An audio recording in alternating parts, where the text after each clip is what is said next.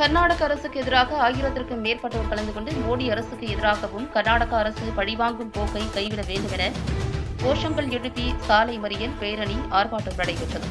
திருவாரூர் மாவட்டம் திருத்துறைப்பூண்டி புதிய பேருந்து நிலையம் முன்பு காவிரி படுகை பாதுகாப்பு குழு சார்பில் தமிழகத்தை பழிவாங்கும் நோக்கத்தோடு மோடி அரசு கர்நாடக அரசிடம் பேச்சுவார்த்தை மறைமுகமாக நடத்தி அதன் வாயிலாக தமிழகத்தை பழிவாங்கும் நோக்கத்தோடு கர்நாடக அரசு தமிழகத்திற்கு தண்ணீர் வழங்குவதை நிறுத்திக் கொண்டுள்ளது. காவிரி நடுவர் நீதிமன்றம் வழங்கிய தீர்ப்பின்படியாவது முழுமையாக தண்ணீரை வழங்கிட வேண்டும். அதுவும் இதுவரையிலும் வழங்கவில்லை. தமிழகத்திற்கு வழங்க வேண்டிய ஏழு டிஎம்சி தண்ணீரை கூட வழங்காத நிலை ஏற்பட்டுள்ளதால். குறுவை சாகுபடி கருகிய நிலையில் காணப்பட்டு தற்போது சம்பா சாகுபடியும் கருகத் தொடங்கியுள்ளது. இதனை கருத்தில் கொண்டு தமிழகத்திற்கு தண்ணீர் வழங்க மறுக்கும் கர்நாடக அரசுக்கு எதிராக இன்று ஒருநாள் அடையாள போராட்டம் நடைபெற்றது.